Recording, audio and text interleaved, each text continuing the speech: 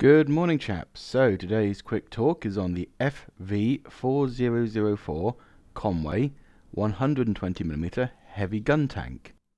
The Conway came about as a result of a deteriorating situation in 1950. The British felt that it was possible that they could be drawn into a war with the USSR and at a time in which the development and production of the heavy gun tank FV214 Conqueror had not been completed. The powers that be felt that the UK would have no tanks capable of defeating the IS-3 tank, which they believed the USSR had large numbers of. It was proposed by the director of the Fighting Vehicle Research Division that the 120mm gun intended for Conqueror should be mounted on the proven Centurion hull, as a short-term counter to the IS-3.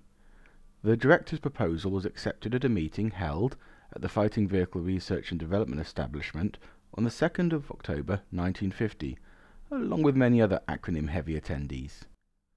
The design of the short-term heavy gun tank was influenced by two main considerations. The first was the urgency of which it was required to be in service, and the second was the need to produce it without interfering with the Centurion 20-pounder tank production program or the development production of the long-term Conqueror heavy gun tank.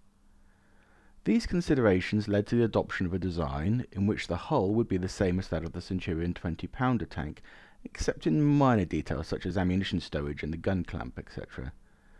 Because of this, the problem of suspension loading had to be solved. It was felt that if the gun had been mounted conventionally with its trunnion sufficiently far forward to enable the breech to recoil within a turret race, its centre of gravity would have been so far forwards that the life of the front suspension would have been unacceptable. Furthermore, with the turret out of balance, it would not have been able to rotate with the existing traverse equipment. It was of course impossible to increase the turret ring size to overcome the balance issue without seriously affecting the development of the regular gun tank, which was one of the listed criteria.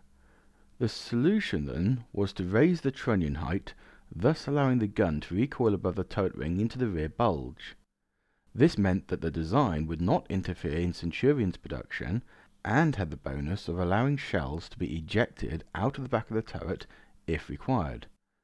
The downside to this was a taller profile with a reduced elevation and gun depression of just plus 10 degrees and minus 5 degrees only. It's also worth noting at this stage the vehicle is simply known as the FV4004 Centurion. An initial wooden mock-up model was produced which differed quite a lot from the finalized version. The turret was more angled, with larger distinctive cheeks on either side, and had a narrower overall front, with a more squared look to the mantlet, while the later wider turret had inset cheeks to prevent obstruction to the driver on turning the turret. It's claimed the turret was designed by the Auster Aircraft Company and the metal plate made by Chubbs of Wolverhampton before going over to the Royal Ordnance Factory's Barnbow for building which seems to contradict some of the official information written at the time, and will require further archive digging, I'm sure. What is known is that several initial turret mock-ups were made and sent for firing trials. Due to a lack of 120mm guns, these were fitted with 88mm guns taken from leftover Tigers, as a stand-in gun with weights added to it. These tanks were then subject to 6 pounder and 17 pounder shots to primarily test the weld seams, as well as to test the new resilient bushes to the mantlet internal mechanisms from the impacts. Tests were also carried out versus triangular 20mm insert plates on the lower left and right hand side of the turret, which proved successful, but the remaining surviving vehicle appears to be missing these. Overall, the vehicle was found to be immune to the armor-piercing capped ballistic cap rounds from the 17 pounder, However, it hits to the side of the mantlet resulted in internal splash, and machine gun fire to the vehicle's rear sides caused heavy spalling. At least two test beds were used, not one as often claimed.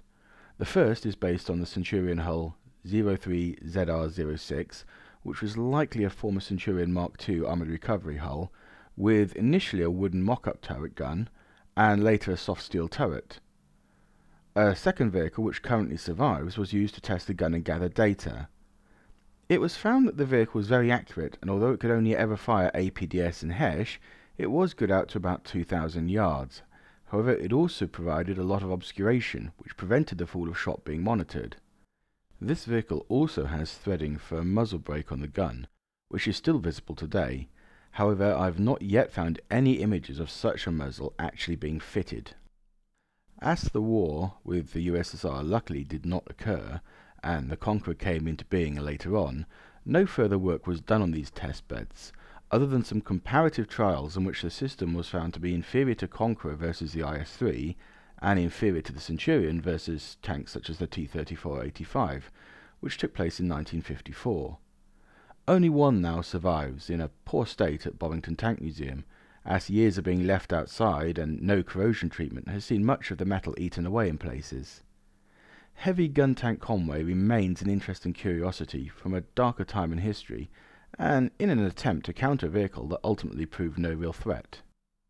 Well guys, if you like this little quick chat, do let me know below, add any thoughts or comments, or if there's a particular vehicle you want me to research, do give me some feedback, and until next time, toodle pip.